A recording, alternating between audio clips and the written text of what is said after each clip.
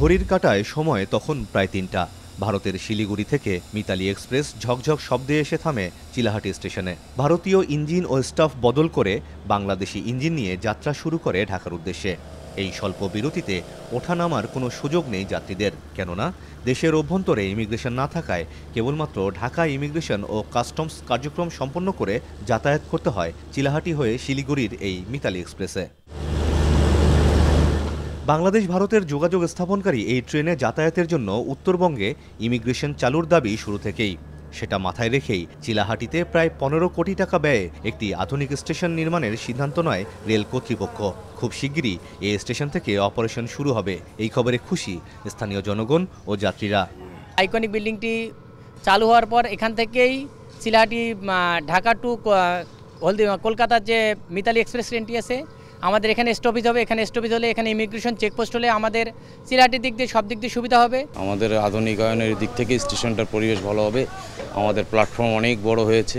India থেকে যে Mitali express চিলাটি ঢুকে এখান থেকে ঢাকা যাইতে প্রায় একদিন সময় লাগে।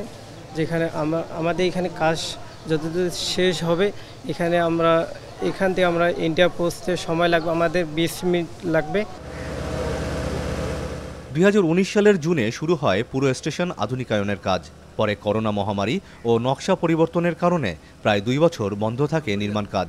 নকশা সংশোধন করে গাজীপুরের বঙ্গবন্ধু হাইটেক স্টেশনের আদলে আইকনিক ভবন নির্মাণের কাজ শুরু হয় দুই হাজার একুশ সালে। আধুনিক যাত্রী সুবিধার জন্য টিকিট কাউন্টার প্রথম ও দ্বিতীয় শ্রেণির বিশ্রামাগার তো থাকছেই। এর পাশাপাশি থাকছে রেলের কার্যক্রম চালানোর জন্য বিভিন্ন বিভাগের অফিস।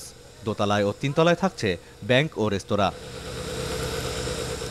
তবে সবচেয়ে গুরুত্বপূর্ণ হলো ইমিগ্রেশন পয়েন্ট। চিলাহাটি হয়ে ভারতের শিলিগুড়ি পর্যন্ত যাত্রীরা ভ্রমণ করতে পারবেন এখান থেকেই। এতদিন মিতালি এক্সপ্রেসে যাতায়াতের জন্য কেবলমাত্র ঢাকা থেকে ইমিগ্রেশন হলেও এখন সেই সুবিধা চিলাহাটি থেকেই পাবেন উত্তরের যাত্রীরা। ফলে মাত্র বিশ থেকে পঁচিশ মিনিটে চলে যেতে পারবেন শিলিগুড়ি। আইকনিক স্টেশন বিল্ডিংয়ের মধ্যে ফ্যাসিলিটি বলতে কাস্টমস এবং ইমিগ্রেশন ফ্যাসিলিটিটা থাকবে। পাশাপাশি রেস্টুরেন্ট এবং ব্যাংকিং ফ্যাসিলিটিস থাকবে। এবং অবশ্যই আমাদের ট্রেন অপারেশন সংক্রান্ত যেসব বিষয় থাকে, সেই বিষয়গুলো অন্তর্ভুক্ত থাকবে। ভিআইপি যাত্রী যারা আছে, মোটামুটি তাদের জন্য ওয়েটিং রুমগুলো আবার নতুনভাবে হচ্ছে। এখানে এই আরএনবি অফিস সম্ভবত পাশে নিয়ে আসার চেষ্টা করছি। তাহলে আপনার মানে যাত্রী নিরাপত্তাটাও নিশ্চিত করা যাবে। আর আপনার কাস্টম ইমিগ্রেশন আসাতে সিকিউরিটির বিষয়টাও আরও জোরদার হবে। এখন পর্যন্ত নব্বই ভাগ কাজ শেষ হয়েছে স্টেশনটির। চার নভেম্বর স্টেশনের উদ্বোধন করবেন রেলপথমন্ত্রী নুরুল ইসলাম সুজন। তবে স্টেশনটি পুরোপুরি ব্যবহারের জন্য আরও কিছুদিন সময় লাগবে বলে জানিয়েছেন প্রকল্প পরিচালক। দ্রুততম সময়ের মধ্যে প্রথমে আভ্যন্তরীণ যাত্রীদের জন্য খুলে দেওয়া হবে স্টেশনটি। পরবর্তীতে ইমিগ্রেশন চালু করা হবে।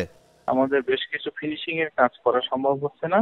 কারণ এখানে এখন যেহেতু মাত্র বৃষ্টি শেষ হলো, আমাদের রঙের কাজ এবং অন্যান্য ফিনিশিং এর বেশ কিছু কাজ স্টেপ বাই স্টেপ হওয়ার কারণে এটা একটু সময় দেওয়া লাগবে ফর কিউরিং পারপাস যে কারণে যে কারণে আমরা এই মুহূর্তে এটা হান্ড্রেড পার্সেন্ট করতে পারছি না।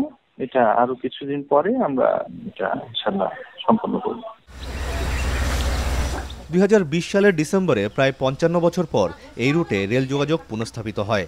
শুরুতে মালবাহী ট্রেন চললেও গত বছর জুনে চালু হয় যাত্রীবাহী মিতালি এক্সপ্রেস।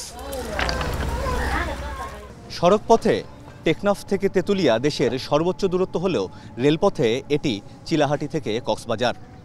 চিলাহাটির এই স্টেশনটি হতে যাচ্ছে দেশের অন্যতম সুন্দর স্টেশন। ইয়ার্ডের কাজও শেষের পথে। সাধারণ যাত্রী সুবিধার পাশাপাশি ইমিগ্রেশন চালু হলে ভারতের সাথে শুধু যোগাযোগই বাড়বে না, বাড়বে ব্যবসার পরিধিও। যার মধ্য দিয়ে এগিয়ে যাবে এই অঞ্চলের সার্বিক অর্থনৈতিক কর্মকাণ্ড। আমিরুল বাপ্পি, এখন চিলাহাটি, নীলফামারি। আড়াইশোটিরও বেশি ডিজাইন অপশন নিয়ে ওয়াল্টন স্মার্ট ফ্রিজ বোঝে আপনার প্রয়োজন।